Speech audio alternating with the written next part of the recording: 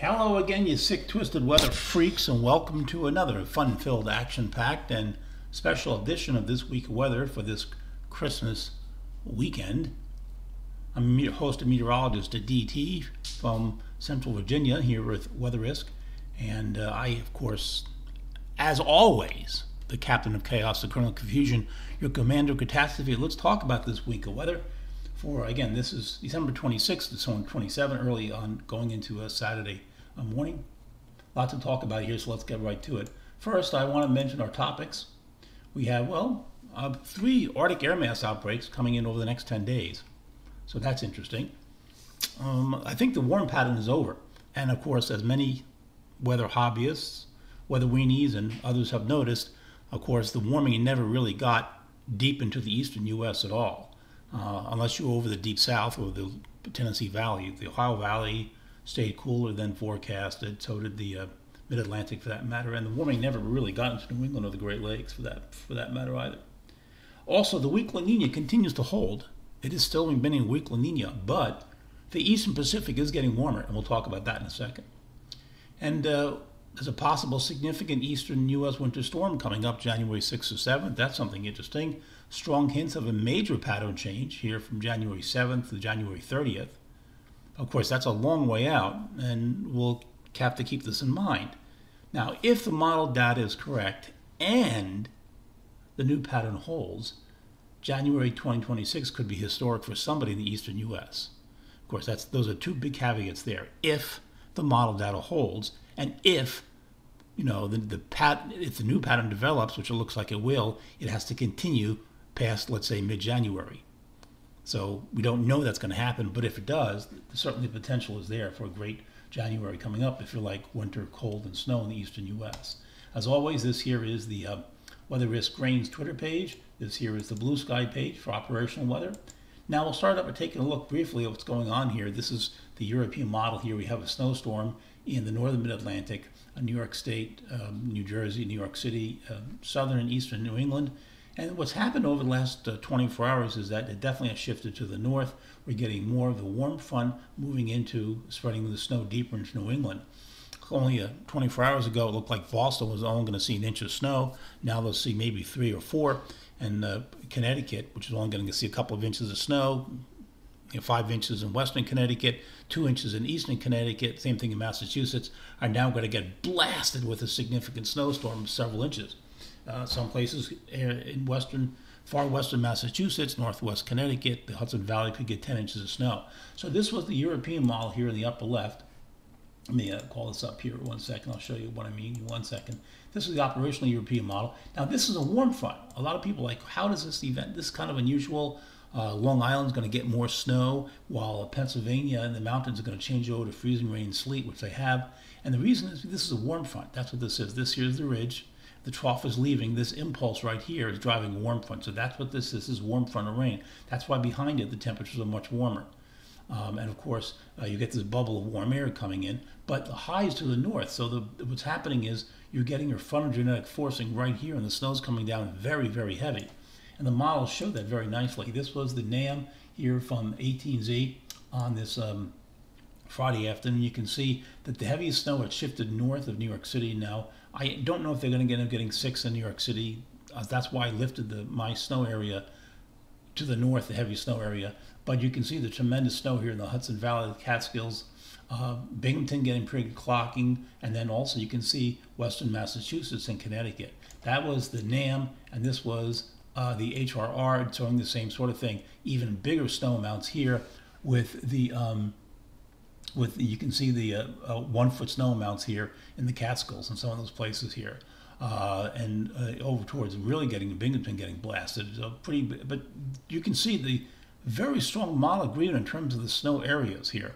I think the HRR is probably too wet. It usually is. Um, but and then this was the radar simulation, which worked out very nicely from the midday uh, 18Z. 18Z uh, um, NAM. Actually, I think I have these backwards. Let me put this back like that. There you go. And uh, you can see that the heavy snow is really coming in. The model handled it really well, and they're getting blasted. This is as of 8, 9 o'clock tonight, and you can see it was really getting slammed here. And again, it's changed over uh, in freezing rain, sleet in Philly and interior eastern Pennsylvania. Uh, but this is really, really heavy snow here. So, and this was the last call map. I, uh, I originally had the six inch line in New York City, but I lifted it to the north, as you can see. All right, so that event's over and gone. Let's get on to the next thing here. Let's talk about the sea surface temperatures for January, uh, excuse me, December 25. There's the La Nina right here.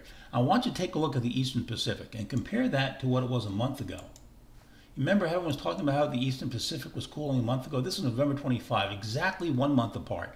Look how much cooler the Eastern Pacific was. Look how much stronger the La Nina was. See that? Now, compare that to this. And like I said, the Eastern Pacific has gotten much warmer. Now, right in the Gulf of Mexico right here hasn't warmed up, but everybody else, the Eastern Pacific, is much, much warmer than it was a month ago. If you take a look at the actual data from the latest uh, uh, Australians and from the uh, OISST, uh, this is over some care of the cyclonic weather, Alex Boardman. You can see that the range again remains somewhere around uh, that's tra- the, the spread here. This is uh, minus 0.5. This is uh, 0.8. So there we are, minus 0.7. And this here is the Australians, and this again they have they measure it a little differently, but as of December 21, they had minus 0.9. It's a weak La Nina. Okay. In terms of the MJO, nothing's going on. The uh, European and the GFS, as long as La, La, La, Nina holds, they're keeping the MJO stuck in the neutral circle where it's not doing anything. And that's what it does for the next mid to January 25. If we take a look at our teleconnections, okay, see what's going on here, get an idea how the pattern is going to develop. We have our two Pacific teleconnections, the EPO has a negative and a positive phase. The negative phase is the ridge in Alaska, which brings over the severely cold air from Siberia. The positive phase brings mild air into Canada and destroys the cold air supply. Then the PNA, Pacific North American, that's the West Coast Ridge or West Coast Trough. And then on the Atlantic side, we have two the Arctic Oscillation. The polar vortex is strong or weak, negative, positive. And the NAO, when it's negative, you have the Greenland block. And when it's positive, uh, you have a pattern which favors more the Midwest than Eastern United States. All right, so if you look at our Pacific side, you can see here um, uh, the EPO is very steady. As you can see, the black line shows it's dropped negative, then it's back to neutral again. And for the most part, it stays kind of neutral. Then most of the models have a dropping in January into negative values. Uh, the PNA pattern, we've been negative, goes to close to neutral, and then it drops off again here. And then the models split. Some of the models here um, have it going positive, and then the GFS, of course, has a negative because that model is a piece of garbage. Um, and you'll see why. The Arctic oscillation here um, on the Atlantic side, positive, then goes negative, and the models are really split here. And the A and the AO and the NAO, it's negative, and it stays generally negative right on through, but very close to neutral. So none of these are ideal, um, and these are all in a state of flux here because some of these are really different readings. So we'll see how it plays out. Maybe next week we'll have a better idea. All right, so this here is the current pattern. And again, this is the same map as um, um, this one, I just on a hemispheric level. So that's the US projection, and this is the current one here. So you can see the monster trough in the Eastern Pacific. Now, this trough has been here for a couple of weeks. And that's one of the reasons why the cold pattern we had and the couple of moderate snowstorms in the mid-Atlantic, southern mid-Atlantic, that, that was in the first half of December. That wasn't there.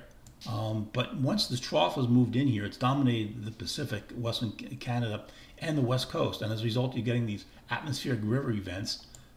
Let me blow this up a little bit so you can see what I'm talk, talking about here. You can see these atmospheric river events coming out of this trough and just slamming into southern and central and northern California, like Oregon and Washington, into the into the mountains, the Cascades and the Sierras, just getting blasted, just blasted with rain and, and heavy, heavy mountain snows. Now, um, to the east, of course, you have this ridge. Once this warm front is through, we do get a bit of a mild pattern coming this weekend. Uh, high over to the north of Quebec, north, northern New England, I will keep the New England on the seasonal side, but behind this front, there is some warm air for a couple of days before the next front hits.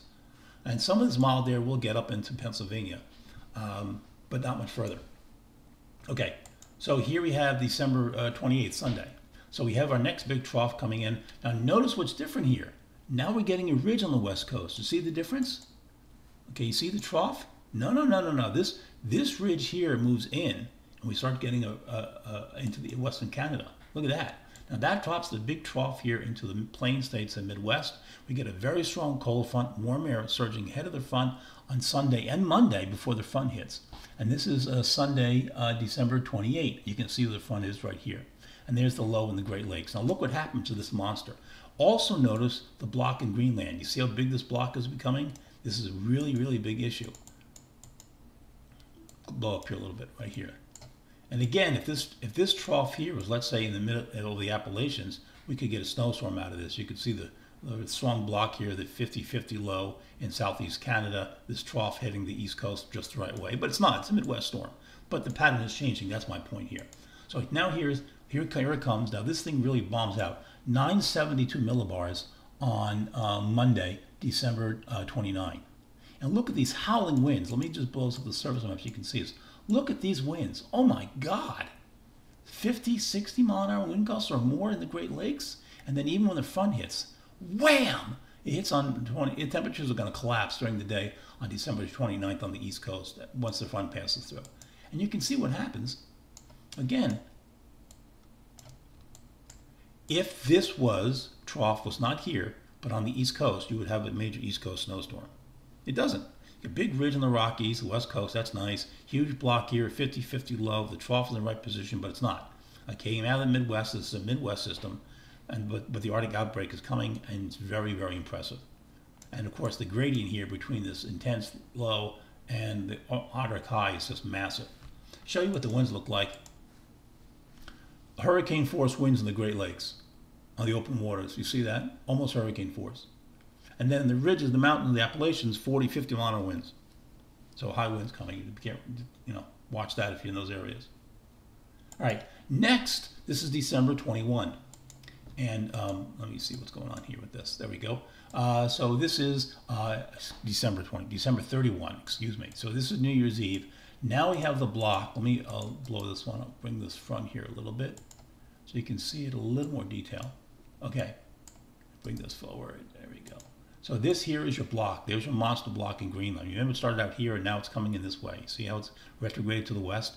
And as a result, the polar vortex, this is the Midwest storm, okay, that moved up the Midwest storm. See this trough here? It moves up in eastern Canada and then the block stops it. So the thing gets trapped right here. And that's exactly what happens here.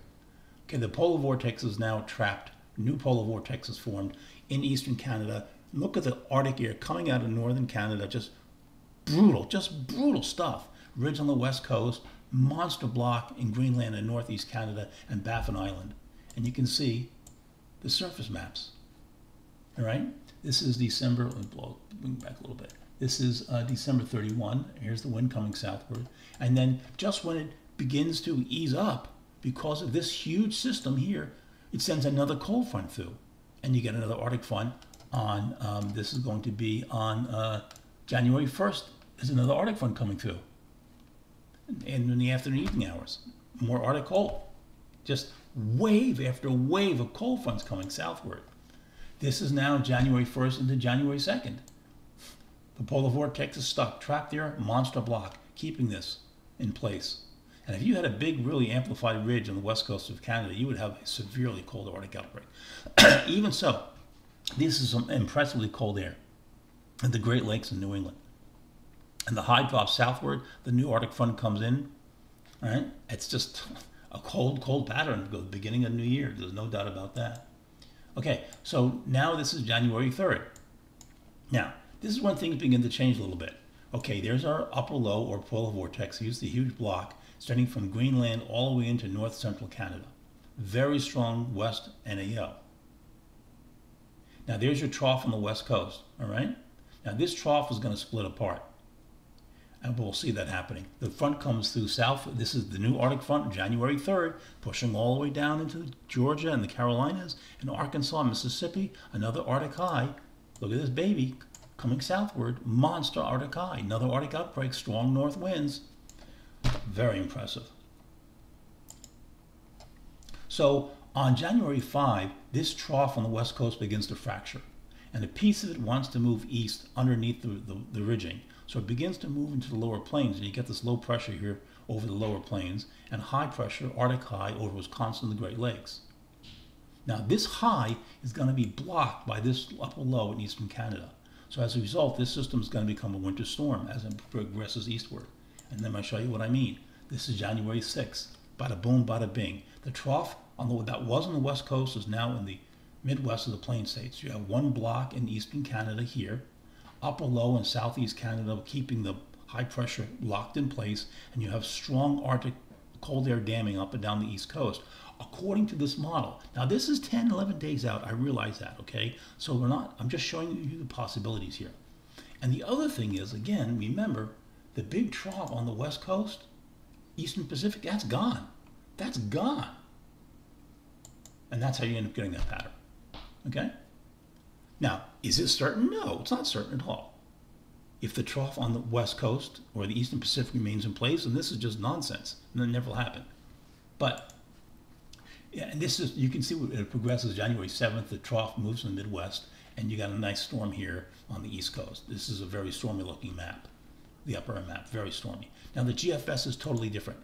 Now why is the GFS so different? Because the GFS keeps this gargantuan upper low on the west coast of North America. Here we have a ridge. There you've got an upper low here. And of course, when you have a monster trough this big, you got a ridge over the eastern United States, and you're warm. I mean, it's not super warm because you have a block uh, over here, but it's not a, a stormy pattern at all. Not at all. So this is bullshit. The GFS is completely wrong, and you can see that because you look at the GFS ensembles. Let me show you what I mean. This is the European ensemble, okay, January 6th. This was the operational run right here. Okay, this is operational run. This is the ensemble. And you can see monster block here, strong trough over the Appalachians, uh, the Ohio Valley, classic East Coast strong signal position for the trough right here. Okay, and then uh, you can again you can see um, uh, this is again way out there day 10 the European model is just gangbusters it's just gangbusters you can see how awesome it looks at this point I mean let me shrink the GFS here a little bit. You, so you go. You, you see the block of Greenland. You see a giant 50-50 low. You see the monster trough here. The jet stream is split. The northern jet stream, you see the northern jet stream? There's the southern jet stream. Look at the energy in the southern jet stream. These short waves and short waves and short waves and short waves. Look at the Arctic flow coming out of northern Canada and Siberia. I mean, this is just gangbusters, if this is right. The GFS, totally different solution. Totally different solution and this is the uh, European now for January 9th. You can see the pattern holds. Now, if we compare the extended beyond this, here's the CFS and the GFS extended January 14th. Now, CFS here um, has, again, that trough on the west coast. So we have a ridge over the eastern United States. Now, this is not a terrible pattern, but it's not an Arctic pattern. And it's more like mixed precipitation in the eastern United States. It's not a great pattern. The GFS ensemble does show blocking, Greenland blocking, a strong ridge, in, in the Arctic region here, nice trough in the Midwest, a nice supply of Arctic air coming southward. This is a pretty cold looking map and has potential on the GFS. And then finally, my last image here, this is the European weeklies. This is for January 22nd, January 16th. Let me change these so you can see them a little more. I got them in the wrong order. Okay, this here is January 16th, ridge, trough, positive anomaly here, direct Arctic flow coming southward. This is January 22nd, the same thing it holds. The pattern doesn't change. So if these are correct, it looks got a lot of promise, but we don't know. We just, I think it's going to be correct, but we don't know that. Okay, we, all all we know at this point is that the pattern, the pattern is shaping up. Which one, whether it's going to be Midwest, Ohio Valley, Mid Atlantic, East Coast, Tennessee Valley, nobody knows. But the potential, it looks like we're headed for a pattern shift. That's the important point. All right, this is meteorologist DT from Weather Risk. Uh, Merry Christmas, everybody, and have a great New Year's. We'll be on again next week, uh, probably for the New Year a holiday, and we'll see how things are going.